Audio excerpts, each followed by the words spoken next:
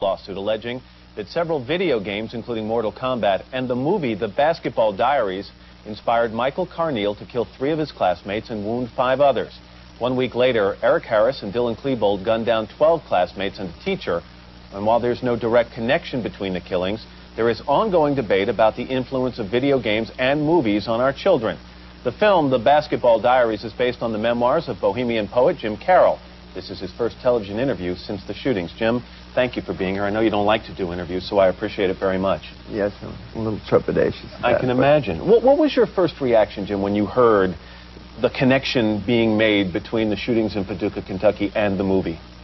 Well, I got calls from my publisher and my uh, literary agent um, about it, all these news people, CNN, and uh, wanting to speak to me because apparently it's the first thing the kid said after, uh, you know, days. That the guy said, "What made you do this?" He said, "I saw the Basketball Diaries and Jim Carroll shots." He didn't even say Leonardo DiCaprio. He said Jim Carroll, and it just, you know. So I didn't see it on the news first. I, I heard it from. I finally called up um, my agent, and they told me about it, and I we just issued a statement then because I didn't want to do any interviews about it and But stuff. But what was your reaction? it- I mean, when you heard the two items being connected? it was totally surreal. The only thing that was real was the grief of the parents of the kids who died to me, uh, and and I respected that very much. And but I could not see how that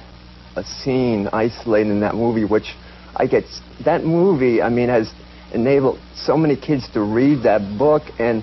I get so many letters from kids that same age, and it just gives them so much hope that it was a book about you being an outsider and, and surviving it. And if you got through it, then I can get through it, you so know? you, you've been hearing all these years since 1979 it was published the positive side the of the impact. opposite. And especially since the movie, which the movie, to tell you the truth, I, on aesthetic reasons, I didn't think, I thought it was an okay movie. The, the portrayals were great by the actors, but it didn't have that much to do with the book, you know? And you didn't have much impact didn't. then on the movie. No, I didn't.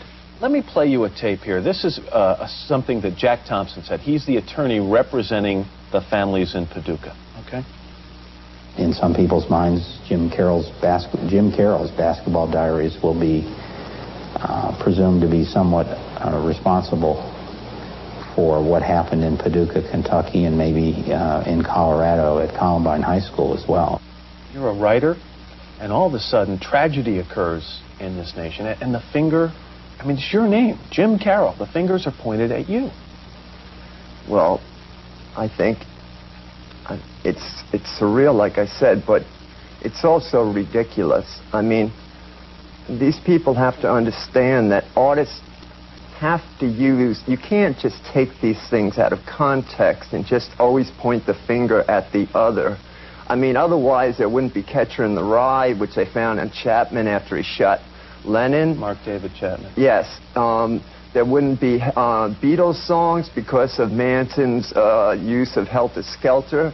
I mean, come on. I remember seeing White Heat when I was a kid, top of the world, and blowing up uh, everything, James Cagney. But the thing is, I mean, for me to feel that way when it's really, I mean, a, a writer has to use evil and I mean evil to illuminate goodness and goodness to illuminate evil. As a matter of fact, in the book, in the movie, this is a dream sequence. Leonardo dream DiCaprio sequence. walks in and he shoots a teacher and And students. in your book, how did you handle the same element of the story? I it completely different. It, it's not in the book. The well, in the book I said that out of boredom, some days I just want to take a machine gun and rattle the blackboard and the ceiling with um with it. I don't want to. But it was a I say I don't want to hit anybody. I don't want to shoot anybody. I just want to riddle it, and it was a fantasy. Let's do this. Let's watch the, the tape from the movie of the scene as I read the excerpt of your book, and then I'll ask you to comment on the other side. Here's what you write in the book. It's just that I get this complete urge to suddenly take a machine gun and start firing like mad toward my right side. Not at anyone or anything unless they got in the way, but that wouldn't matter much because I would aim fairly high. Just do it, that for a few seconds, like one whole round. and that's it. I don't know, Dig, but I guess it would just release some tension. Yeah.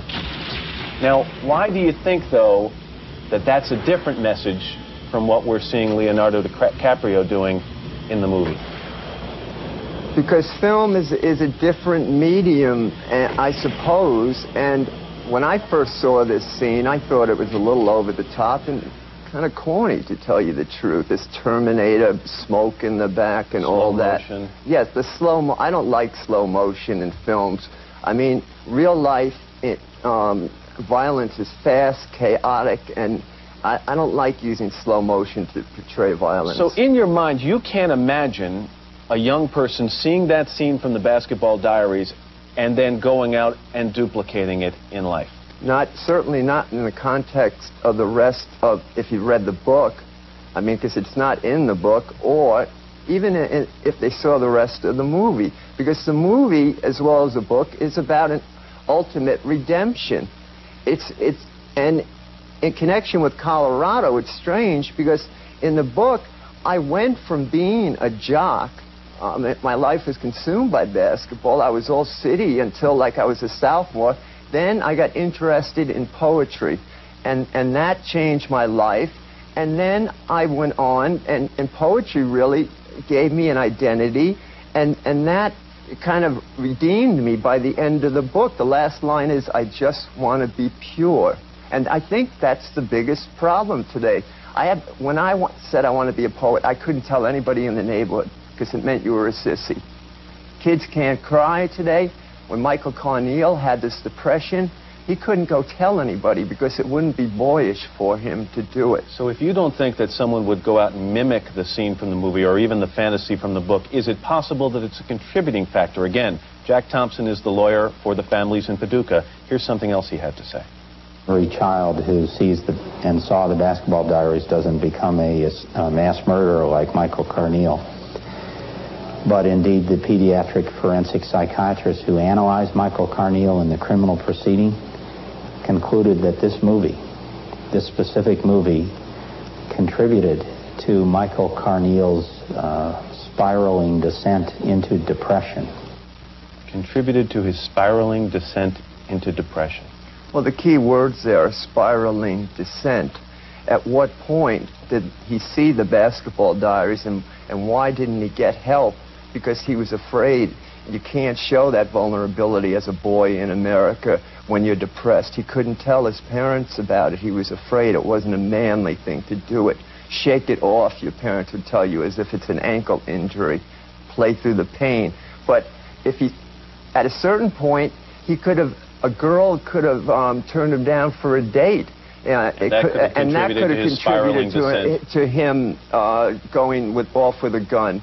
I mean, so you think basically in the wake of these tragedies we all look for answers movie, and we're looking in the wrong place? Yes. I think it's the fact that kids in this country today, I mean, I think the cliques have a lot to do with it, but they're going to be there. But, I mean, it's about kids have to learn. Now, I read to a third grade class, I read poetry to them yesterday, and the boys and girls were all fascinated, and it was so wonderful. But I read to a ninth grade class of New York City public school kids about um, uh, six months ago, and all the boys just were saying, oh, this is sissy stuff. I don't want to hear it, you know, because it's poetry, and they have this connotation about it. Have to reach kids at an earlier age.